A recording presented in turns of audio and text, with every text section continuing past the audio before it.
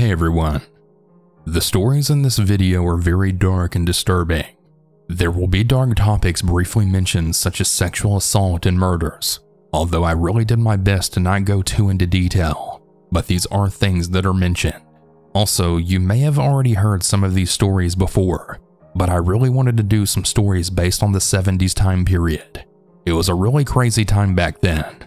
Lots of serial killers and such, so I thought it would be an interesting topic. Anyways, that's the intro. If you're all ready, let's get into the stories.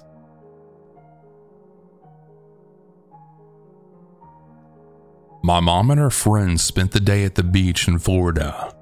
The friend that drove had to go to work, but they stayed and said that they would walk home instead. They were walking back and it was burning hot in the high 90s. A white pickup truck drove past them, then slowed down and made a U turn. He stopped to talk to them. I should preface this with the fact that my mom and her friend were both drop dead gorgeous and wearing bikinis and shorts. They said the truck that stopped was driven by a young man that was very handsome and probably in his late 20s. He offered them a ride. My mom, who was always wary of strange men even back then, said no, but her friend started to whine and then said, Come on, it's hot and we have another mile to go. It will just take a few minutes. My mom still didn't want her to, but her friend climbed in the truck, and my mom didn't want to leave her alone. So she then reluctantly climbed in the front seat with her friend in between her and the man. Her friend was a chatty Kathy, and she talked away to this guy without paying attention to anything around her. My mom had a bad feeling, and she noticed the man still hadn't turned his truck around and was heading out to the dunes where there was nothing but deserted beaches for miles. She looked over and she realized he had pulled all of his junk out of his pants and was masturbating. My mom instantly became angry and grabbed the door handle and opened the door. She then said, You need to stop this truck right now and let us out, you sick bastard. At the same time, her friend snapped out of it and saw what was going on. She flipped out and, according to my mother, dove straight over her and out of the moving truck. As she jumped out, the man tried to grab her and only got a hold of her bikini top, so it came off. She said she watched as her friend hit the ground and it was like slow motion. The man then began to speed up.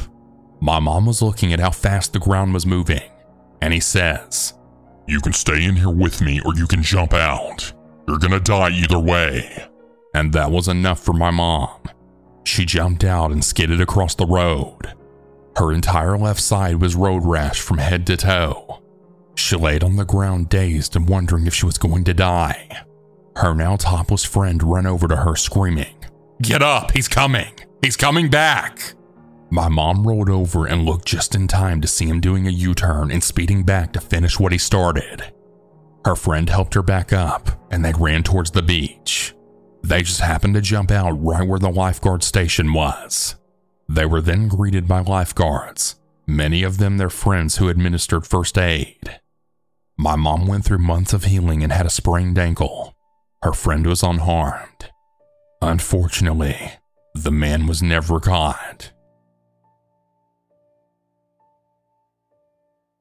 From the fall of 1973 through the spring of 1977, I attended the school of the Museum of Fine Arts here in Boston, Massachusetts. Although I took classes from 9 a.m. to 5 p.m. every day, I'd often stay after school until 10 or 11 o'clock at night to do extra work. One evening at around 6:30 p.m., I went into a small room on the upper floor to do my transcendental meditation session. I was sitting there with my eyes closed meditating when a guy I'd never seen before crept up behind me, put his hand over my mouth, and said in a nasty, threatening tone of voice, Don't say a word. Do you understand? I instinctively screamed at the top of my voice, What the hell are you doing? The guy then fled immediately. Wow, that was a close call. Moreover, it was still light out when it happened. Had I just kept quiet as a mouse, it would have been a really, really bad trip for me, if one gets the drift, especially since school is located in a pretty rough area. Anyways, that's my story, and it really scared the hell out of me. On a darn cold night in the late 70s, my dad's truck broke down about an hour away from home. He started walking out and put his thumb out hitchhiking for a ride, and he was soon picked up by a middle aged man in a brown sedan. My dad gets in the car. Thanks, man. I appreciate the lift. The driver doesn't respond. I'm trying to get further north. Where are you headed? Driver again doesn't respond and begins to drive. Without even a look, the driver locks the doors and put his hand on my dad's upper thigh and squeezes. My dad was around 24 to 25 years old. He worked in construction, specifically drywall. He wasn't a tall man, but he was barrel chested and stocky. My dad turns to face him. I'm not into that. I just need a ride. Driver doesn't move his hand. After 10 seconds of silence, Hey man, let me out of the car now. Driver still doesn't respond, doesn't even look at him. My dad grabs the hand and peels it off his thigh. Hey man, let me out of the car. I will kick your ass. Let me out now. My dad was ready to strike at any moment. Without a word, again without even looking at him, the driver pulls over, unlocks the doors, and my dad jumps out. Driver peels off. My dad eventually arrives home and tells everyone what happened. Family doesn't believe him. Well, a few years later, he's dating my mom. They're watching the news, which is covering the arrest of serial killer John Wayne Gacy. My mom said that my dad went pale. My dad jumped out of his chair, shaking violently, and then started screaming and pointing at the TV. That's him! That's the guy who picked me up! My mom said that she believed him immediately. My dad wasn't much of a liar or prankster. He was blunt. He was rather quiet and didn't particularly crave any attention. I was so intrigued by the incident that in the late 90s I had read a few books on Gacy, including the one written based on his interviews. Gacy picked up countless hitchhikers over a multi year period in the 70s. Sometimes he would pick up hitchhikers and take them wherever they wanted to go without incident. The timeline details, geography, and MO were all consistent. My theory is that Gacy picked up my dad thinking he was younger than he was, and then he tested out my dad's reaction. My dad was a bit older than Gacy's target age of 18 to 20. When my dad fought back aggressively and immediately, Gacy figured he wasn't worth the trouble and possibly also realized that my dad was not as young as he looked. A few years ago, my husband and I were at an event and we'd started chit chatting with a couple seated at our table. For some unremembered reason, I told this story. The female half of the couple turned white and stared at me, mouth agape. She said that her uncle has an almost identical Gacy encounter. I'm just so sad for those who were unable to escape.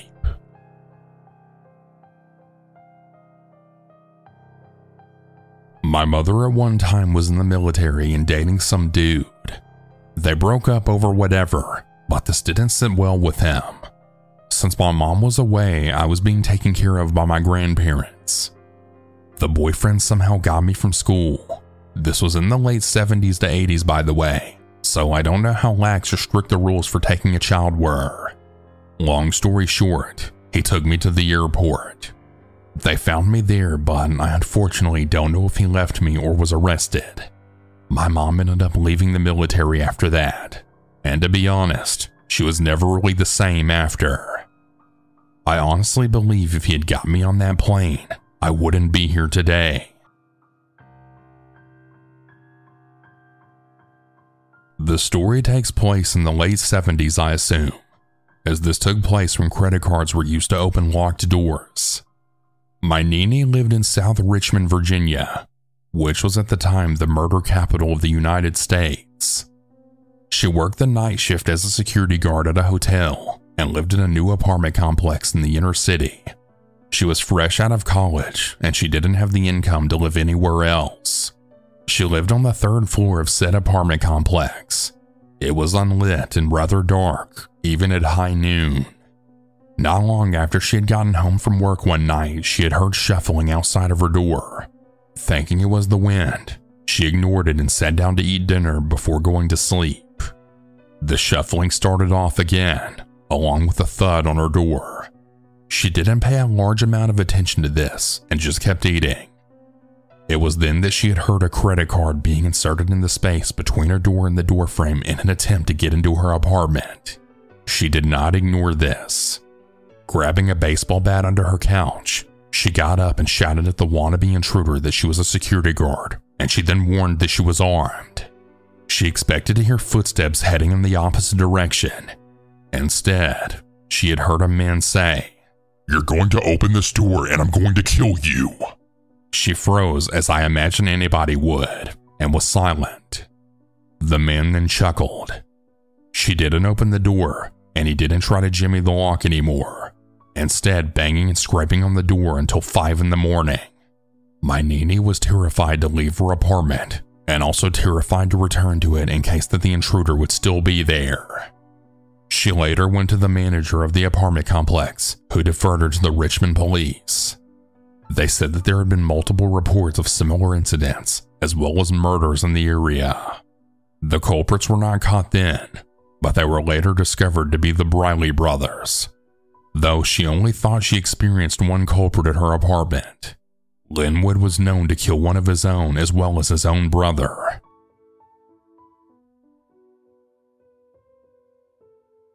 This happened to me in the 70s when I was 11 years old. My two brothers and I have always had to walk to and from grade school each day for eight years since they didn't have a bus for our area. This was quite a distance away, and there was no way in current times there wouldn't have been a bus for our grade school days. We were the last house in the ride in a very small subdivision on a dead end street. Next to us was a ginormous cornfield with an old barn and house and had a lot of acres of fruit trees and woods. As a shortcut, I would take this deserted woods trail and follow it to what will lead me to my house after about 15 minutes. That particular day, I turned right into the woods and the trail, as I had did every year for six years by then. It was the end of winter, and I still had my long blue winter coat on. I had walked about five minutes on the trail, and for some reason just happened to look behind me. Quite a distance away, as I walked fast, I saw a man enter the woods and was on the same trail that I was on. No one else was around, and for some reason I had started walking even faster, thinking I was just being silly. When I looked behind me, I saw the man also begin to pick up his pace. This scared me, and I started walking really fast. I saw that he was too when I again glanced over my shoulder. I still don't know why, but that day I felt fear, so I began running, and I noticed he was running too. I was really afraid then, and no longer had the time to glance behind me. I broke into a full run as fast as I could until I came out on the road in front of my house. Normally, I walk the trail a bit further and end up at our garage and back door, but that day I sprinted into where our little street on the dead end began, and that brought me right in front of our house. I didn't want him to know I lived there, so at that point I stopped and was catching my breath. He was only maybe 10 to 15 seconds behind me, and he caught up with me, but he didn't stop. As he kept a much slower pace then, he looked at me and then said, You're a fast runner. And then he kept going. I stayed where I was until I couldn't see him anymore. Then I turned into our driveway. Pretty much for months after that, I would take a different way home, and I didn't walk those same trails again for quite some time. I don't know if I was just being paranoid or what, but why else would a young man begin running after me for a good 10 minutes like that? I also want to mention that he looked like he was around 18, so very young. He scared the crap out of me. It's a good thing that I was indeed a very fast runner, or who knows what might have occurred on that deserted woods trail.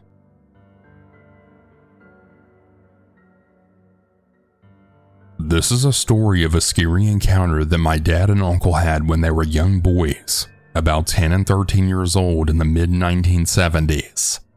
Growing up, they moved around a lot because of their dad's work.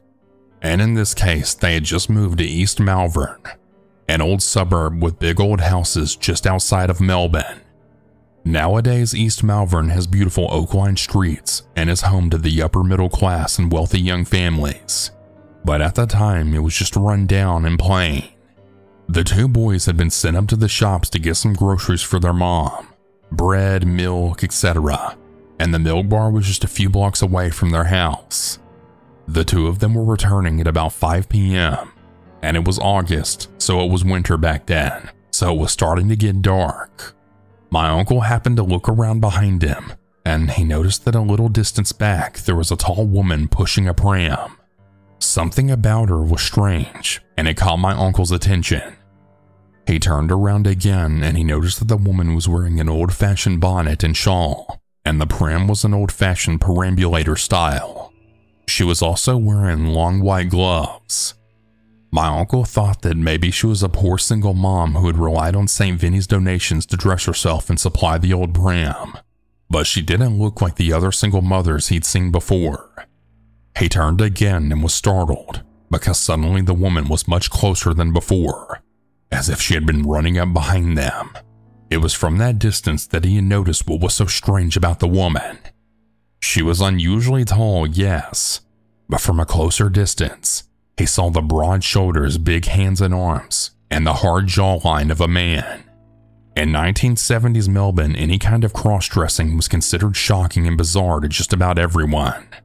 My dad and uncle were afraid. The man was now staring at the two of them with intensity and began speeding up his walking pace. The boys crossed the road and sped up their pace. The man sped up again and started to cross the road with them. At that point, the boys just bolted. After reaching the corner, they had stopped running and looked behind them. The man with the pram was now gone. They stood frozen for a few minutes, staring back, catching their breath, and terrified and unsure of what to do. Minutes later, they continued walking.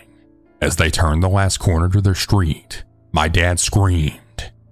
He had seen a head with a bonnet peering out from between two parked cars a little way in front of them, between them and their house. At this point, my dad and uncle ran up the driveway to the nearest house. The man started following them again. My uncle stood with his finger hovering over the doorbell, staring at the man who was now standing at the bottom of the driveway. At that point, my uncle, who was terrified, rang the bell, causing the man to immediately run away.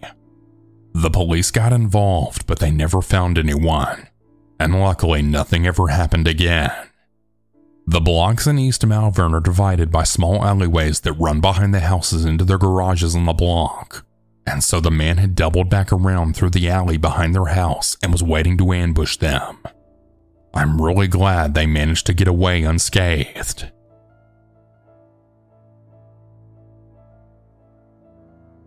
This was a very long time ago, back in 1973. I know it was summer. I was six years old and we were living on Monica Lane in Madison, Wisconsin. The thing is, I sort of recalled it but never put two and two together until a few months ago when I was talking to my mom, who went into great detail. I was a very gregarious child, outgoing, extroverted, and friends with anyone. It was at the time a middle class neighborhood, and three houses down from ours on the same side of the street was a huge park. My mom was a nurse and my dad was a salesman, but my mom worked second shift at Meriter while my dad worked days. I rarely ever had a babysitter, only if they went out for dinner or a movie. But they did go out often, and there were always older kids in the neighborhood to babysit. One sitter who I really liked lived a few blocks or so away and down the street a little bit. Her name was Vicky, Vicky had babysat a few times before that, and it was pretty uneventful. She'd play games with me, do my hair, play dress up, you know, pretty basic stuff. So, anyhow, one day I had gone with friends down to the park. I remember there was a ball field at the time and a sandlot next to the field. My friends wanted to play in the monkey bars, but I wanted to play in the sand. I looked at the sandbox and my babysitter Vicky was standing there. I told my friends I was going to go down to the sandbox and then ran off. We played in the sand building a castle, and then she asked me if I wanted to go get something cold to drink. Now, it was stiflingly hot, and I of course said yes. She takes my hand and we start walking to her place. She starts telling me about her puppies and asking if I want to play with them. Of course, I got giddy and I couldn't wait to get to her house. This was where my memory had stopped. And after my mom told me what happened, the rest of it all flooded back. My mother just so happened to be talking to my sister and I about some of the places we lived at, and we got to Monica Lane. I told her that I remembered the park and how big it seemed, and she asked me if I remembered being kidnapped. I pretty much immediately thought she was kidding, and then the look on her face told me otherwise. She said it was around 5 in the afternoon, and one of my friends had come to the door to ask me to come back outside, sure that I had gotten bored and walked back home. When my mom checked the house, she realized that I wasn't there, and she was also seven months pregnant with my sister. She then sprinted to the park screaming my name. After asking several kids if they'd seen me with no clue, she went to the ball field and asked the older boys if they'd seen me. One of the boys, she'd guessed around 14, said that he'd seen a younger woman playing with a girl that fit my description in the sand and walked off in a general direction, and that was all he knew. My mom ran across the street to one of the houses and had asked to use their phone, then called the police. By the time the police got there, my dad had come home and some of the neighbors were trying to help my mom. So there's now this search party out looking for me, screaming my name and knocking on doors. The police had gone back to the park to ask the boys if they knew who had been with me and if they knew who she was. Between the boys and the neighbors, they deduced who it was that had led me off, but I have no idea how honestly. The police and the entourage go to her home she lived with her parents, but they weren't home, and they knocked on the door.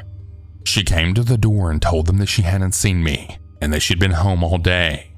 The police asked to come in, and for some reason she said okay. They went through the house and then went to the basement, and that's when they found me. That's what my mom knew, and then I remembered. It was literally like a floodgate had opened, and I started crying. At six years old, you sort of just trust everyone, and she'd been in our home. I never got a bad feeling from her, and my parents didn't either. But when we walked into her house, I remember that cold, holy crap feeling washing over me and getting very worried. I remember starting to cry and saying I wanted to go home over and over. She takes me into her kitchen and gets me a glass of water and a tissue. I hear dogs barking and next to the kitchen is an open stairway that goes down and where the barking was coming from. She starts trying to cajole me into going downstairs, telling me there's all sorts of toys and games. I reluctantly agree, and she grabs my hand to head down the stairs. The dogs are going nuttier, and I start screaming. At this point, Vicky's getting really bizarre. She then starts screaming at me. Shut the hell up! If you don't shut up, I will throw you in the cage with the dogs and they'll eat you. Now shut up! Dragging me down the stairs and still screaming. I was scared out of my mind. I remember crying so hard I was hyperventilating, and I'm screaming so hard that I'm not making sounds. Vicky then flips a switch and starts being syrupy sweet, trying to calm me down. She tells me that she was just playing a game, and she tells me that she wants to play hide and seek with me. She must have been relatively skilled at calming me down, because the next thing I know, I hear knocking on the door upstairs, and I wasn't crying. The houses were all the same sort of tract houses that Sears used to sell. Not huge, but not small, but you could hear everything at any spot in the house. I keep hearing the knocking, and she tells me that it's her friends. They're coming to play hide and seek too. She convinced me to let her put a piece of masking tape over my mouth so I wouldn't make a sound, and she then lifted me into this big wooden box next to the kennel. She then put a big pile of blankets over me and told me to be really quiet so they didn't find me. The whole time the dogs were going crazy, but when she calmed me down, they calmed down too. They still looked incredibly mean, but they were no longer frothing at the mouth and only slightly growling now, until the knocking started. I remember scrunching in there confused still scared and convinced that the dogs were going to get out and eat me. I was crying again and hyperventilating. I remember taking the tape off my mouth because I couldn't breathe, but I remembered that I needed to be quiet because I was afraid of what she'd do if I screamed. I laid in that smelly box next to a big bag of dog food, sweating to hell, tears rolling down my face. I sort of pushed the blankets to the side, but only enough so that I could pull them back over me when someone came. I recall thinking about my dad and wondering if he'd come to find me. All of a sudden, I hear what sounds like adults yelling my name. They all come down the stairs and the dogs are going crazy again. Over and over, men are yelling my name, and then I hear a man then say, If you don't shut those damn dogs up, I will. I was in a large storage box with tape hanging off my mouth when they opened the lid. I remember a very nice man asking me my name and if I was okay.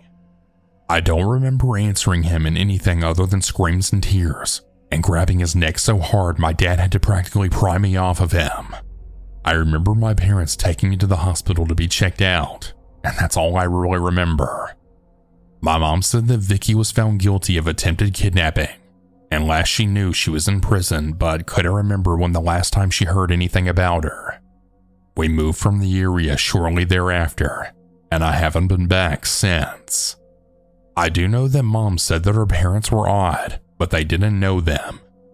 She had met Vicky from neighbors that had used her as a babysitter and had never heard of anything bad, and that I always seemed happy with her. She lived in the general neighborhood, but it would have been two blocks over and one block down. My mom said that they never picked her up, she always walked over. When they'd get home, they'd drive her home, but they never noticed anything out of the ordinary about her.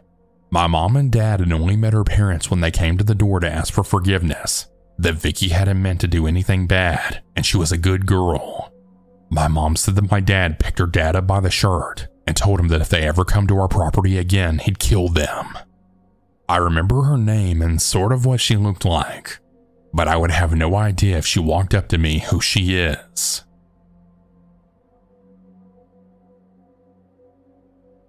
So, this isn't my story, but my dad's. He only told me about it briefly, so apologies for the lack of immense detail. In 1975, my dad was 11 years old and living in Leeds with his mother and stepfather, and for some pocket money, he would do paper round every morning extremely early. He left the house in the dark, being October, and as usual went to collect the papers, setting off to take his usual route through some playing fields. Essentially a public park, but not a very well kept one. Well, this morning in question was a particularly dark and gloomy one, and as he approached the cut through he usually took, there seemed to be something off about it, so much so that it genuinely freaked him out just to be there. He decided to take his time and go the long way around, just to avoid the park, and thought nothing of it for the rest of the morning. Well, when he got to school after his paper round, everyone was freaked out and in a quiet state. Well, upon asking his friends what was going on, they told him that a woman had been murdered with a hammer and stabbed in the neck earlier that morning in the same playing fields that he decided not to go through, and on the same pathway, too. It's probably just a major coincidence, but a very lucky one at that, because the time he was on his round was the apparent time the crime was happening. This turned out to be the first of 13 gruesome murders committed by the notorious Peter Sutcliffe, aka the Yorkshire Ripper.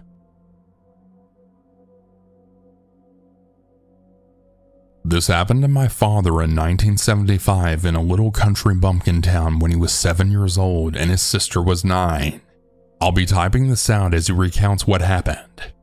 My father was a truck driver who had to be up at 2 a.m. every morning. That meant that we had a rule in our house that no matter what, you can't wake up dad when he goes to bed at 7 p.m. My mother worked in an old folks' home until about 10 p.m. every night.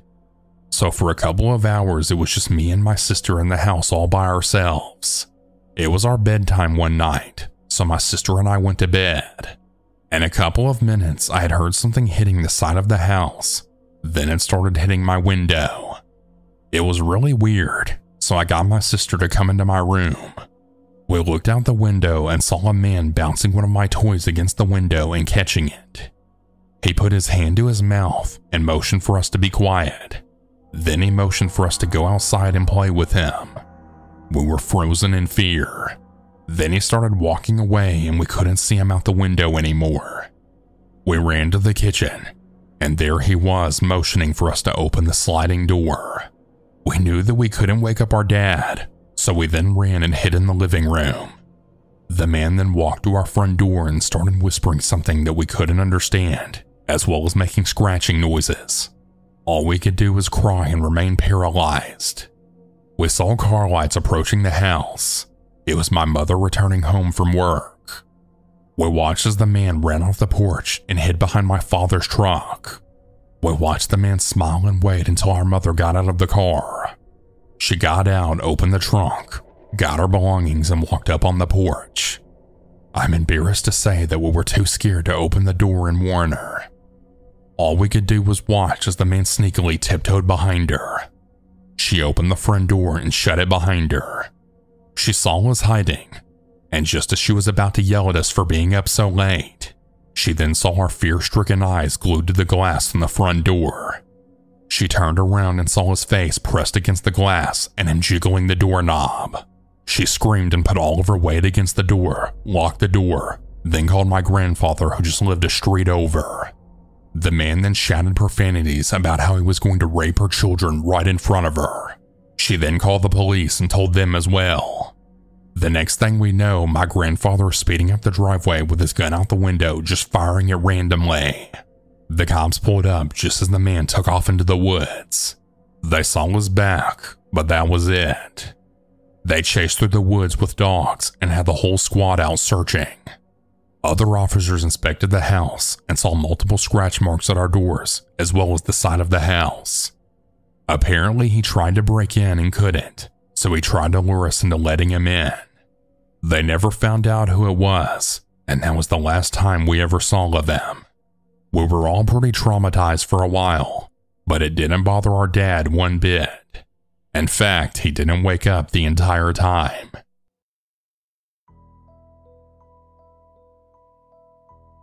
The story is about an event that happened to my mother around 1972 when she was 8 years old.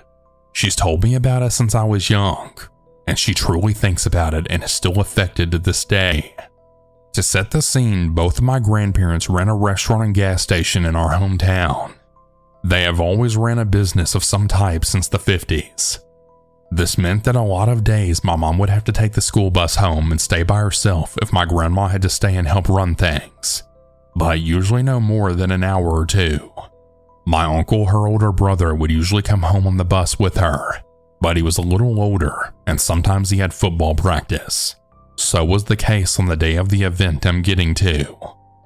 So my mother arrived home on this day, let herself in the house, and put away her things. She had just recently received a new puppy and knew the first thing that she needed to do was take the pup out to the yard to use the restroom. She wrapped the dog in a white towel and walked him outside. As she had put down the dog, she shook its hair out of the blanket, flailing it about the wind. It was then she noticed the neighbor's son was staring at her from across the street. This guy was in his late 20s, and he was known to be very strange and mentally ill. Though in the country, mental illness seems to not always be recognized. He would do psycho things like abusing animals, really sick things that I don't want to get into the details. My mom said that he always creeped her and everyone else out. She said he would stare at her when she would play outside, and he made her feel generally uncomfortable. She said that he appeared out of nowhere in his yard that day, and as she shook out the blanket, he began grinning and waving. Feeling more than a little shock, she picked up her pup, went inside, and locked the door. She began to do some homework, and after about five minutes of work, she heard a loud knock at the door.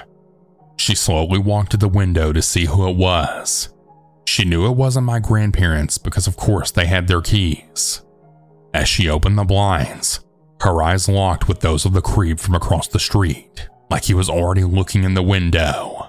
She jumped and she said she screamed a little as she shut the blinds. She then walked to the door and made sure it was locked. She said that he just continued with a slow, continuous thud on the door, almost in a rhythm. Then she really got terrified as he began to speak to her through the door. Hi, sweetie. I saw you with your doggy. Let me in to see him. She was in shock.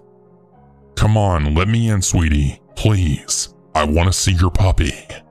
In full freakout mode, my mom screamed. You need to leave now. You need to go back to your house. I don't know you. But he just kept knocking.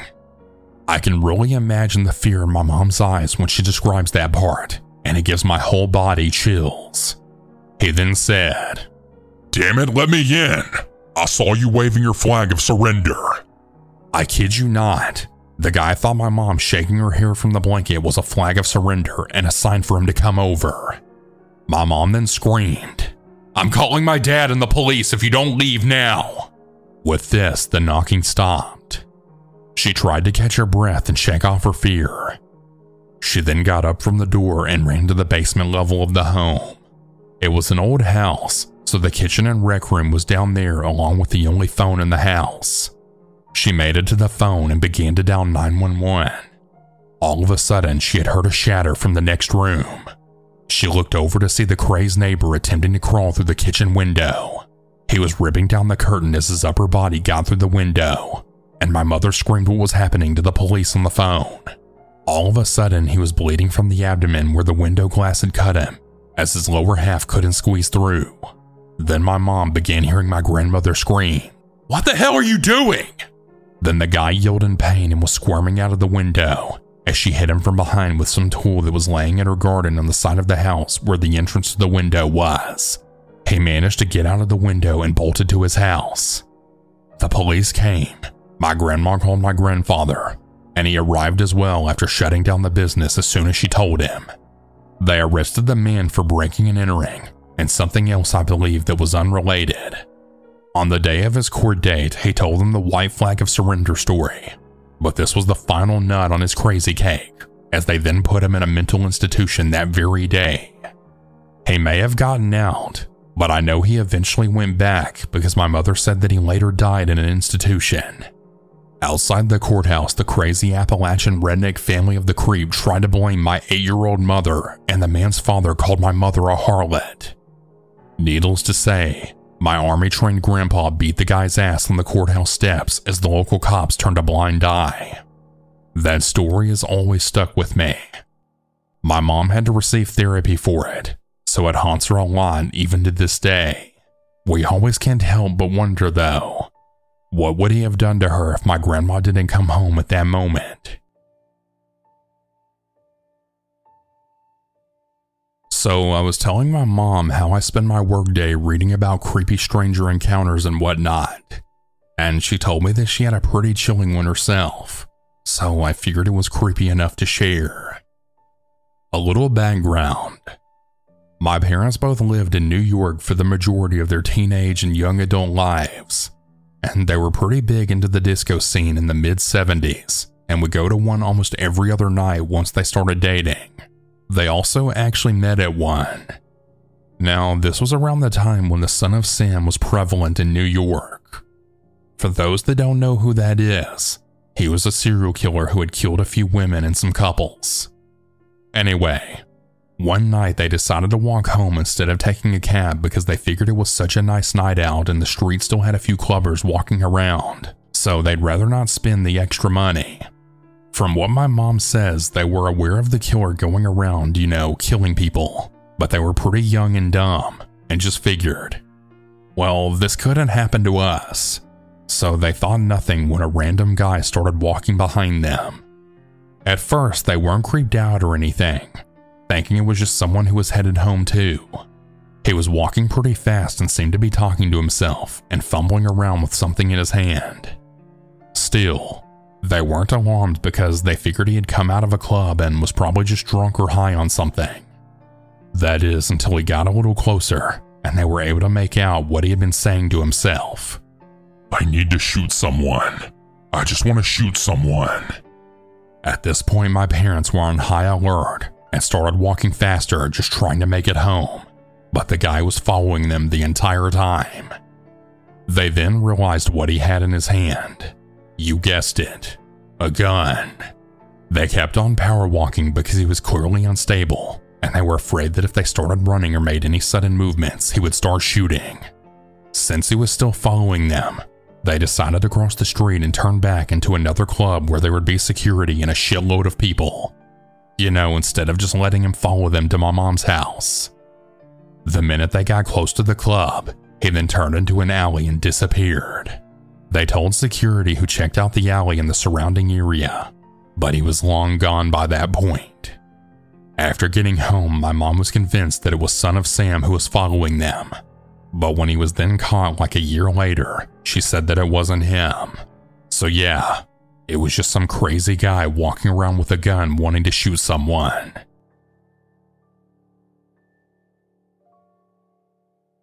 This happened to my mom, but it really creeps me out to think about.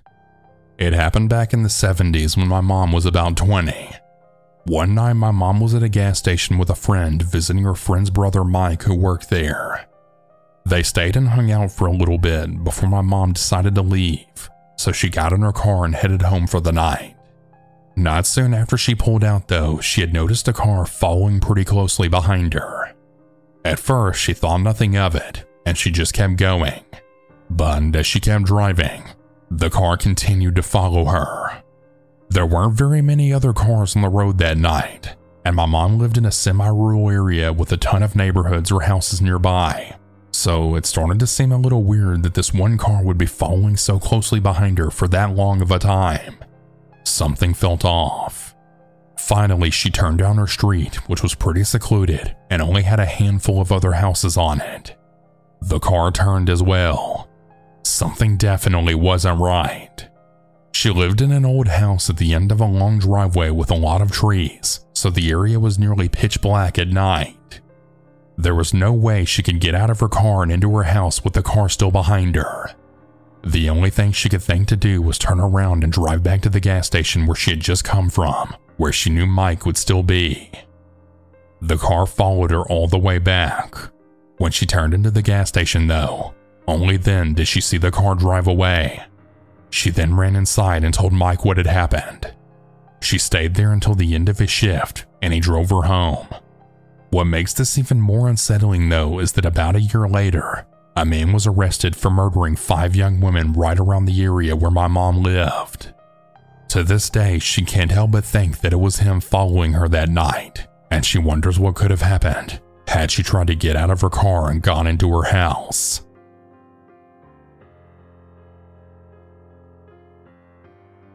One of the creepiest events in my own experience that I can recall happened when I was about 9 years old, late 1978 or early 1979 if I'm not mistaken, which would have put me in the fourth grade at the time. Just a bit of background information on my school here. It was a newer school for my district at the time, and I guess as an experiment in innovative architecture, the school had no square angles in the walls at all. Rather, for simplicity's sake, imagine a U shape where the opening of the U faces into the parking lot, but where there were hexagons attached to the outer edge of the U.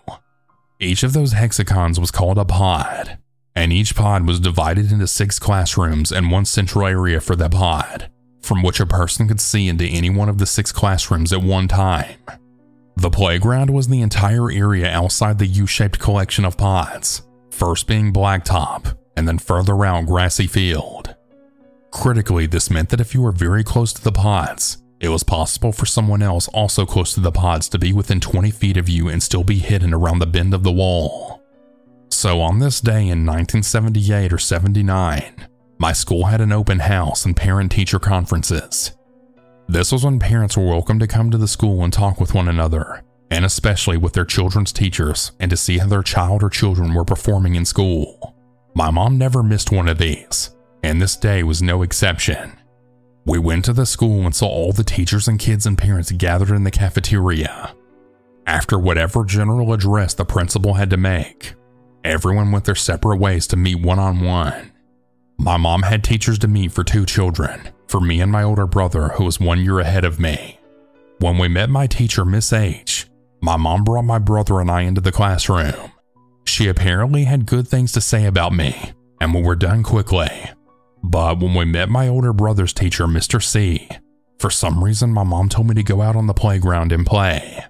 My brother remained in the classroom with my mom and his teacher. It was still light outside, so it all seemed okay. However, by this time, an hour or more had probably passed since the principal's speech had ended. Any parents who had only attended for that or who only wanted to meet a single teacher briefly had done so by now and left. The playground area was devoid of people.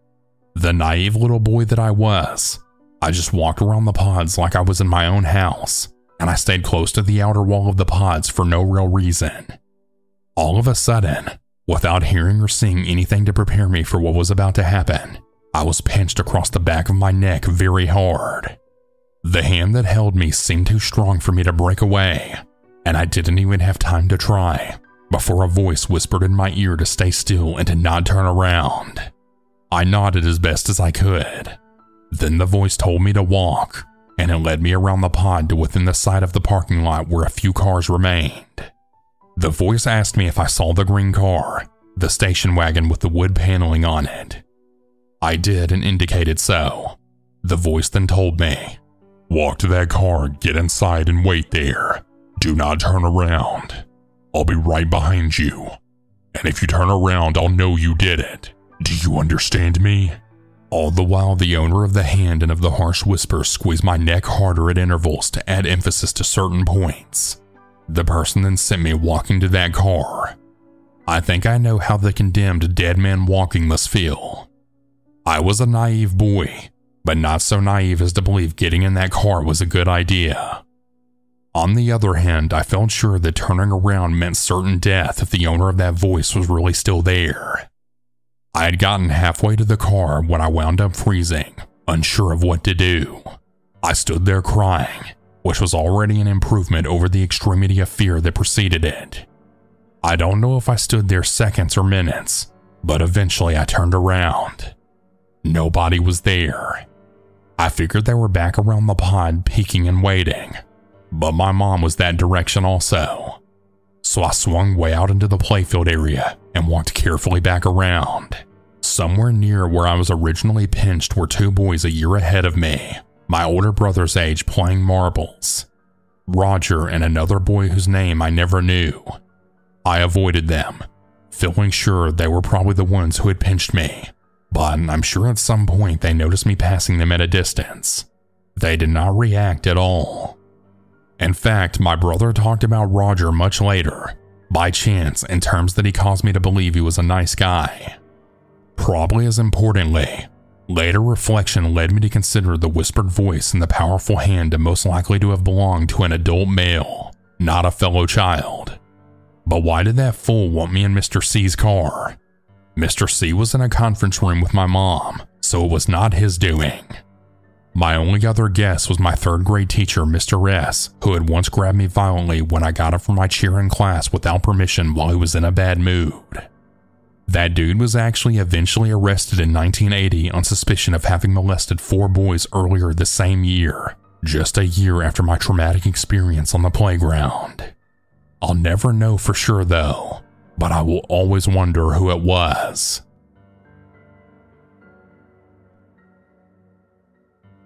My mother recently told me how she was almost raped and possibly murdered by Mike the mall passer DeBardeleben. He was a serial rapist, murderer, and counterfeit money passer and sexual sadist. She told me recently that in 1979, while she was in college in North Carolina, she noticed someone following her in a big car as she walked home one night from class. She tried to ignore it at first, but when it was obvious that she was being stalked, she got scared. She saw a cop car parked at a gas station and ran to it, and the car that had been following her peeled off. Once she thought she was safe, she continued her walk home. Everything was okay until she had to cross the little footbridge that was on her way home. Once she was over it, the same car ripped around the corner and stopped her, and a man rolled down his window and started small talk, and he asked her if he could give her a ride. She said no and started to run, at which point he grabbed her and tried to pull her into the car. She said that she jerked away and immediately ran to a house that was across the street, and he sped away. Two weeks later, she awoke to the sound of her roommate screaming. Mom and three other girls all shared a two bedroom apartment, so it was two to a room. When she gained her vision, she saw the same guy standing in the middle of her room looking at her. She said that the look on his face was calculating. The roommate screamed, Who are you and what the hell are you doing here? and he turned and replied, Uh, I forgot my guitar, and then grabbed a guitar that was leaning on the wall. The roommate then shouted, That's my guitar! And he threw it on the ground and then ran out. After reporting this event to the apartment manager, the manager told my mom that some guy had come by a few days earlier stating that he was a family friend of the pretty girl with long dark hair that lives upstairs and how he wanted to surprise her. So the apartment manager gave him pretty much every detail about my mom where she works, goes to school, basic weekly routines. Of course, my mom flipped out on her as anyone would. That was the last time she ever saw or heard of him until several years later. She was reading a book about notorious serial killers in America, and she read the story of Mike DeBardeleben, who was all over the country raping and apparently killing some of his victims. When she flipped the page and saw his picture, she gasped. It was him. They also showed a picture of the car, and it was the same one that followed her that night. Once she told me, I started to research. I found this page that showed that he was in the North Carolina area at the same time my mom was attending college there. Also, the victimology shows that he targeted women around the age of 18 and 19, my mom's age at the time. I seriously got the creeps. He died in 2011. I wouldn't be here today if he had done what he was planning to do. I'm really glad he dropped his pursuit, but I wonder more often than I should. Why? I can only assume that his initial plan failed, and it would have been too easy to tie him to any crime committed against my mother at that point, so it was just easier to move on. His next victim was Lori Jensen. She survived, but not before going through major hell. Who knows where she is now, but for some reason I just can't get her out of my head. Hey everyone, I hope you all enjoyed these stories. If you ever want to submit your own, you can do so at southerncannibal.com. Have a good night, everyone. And remember to always stay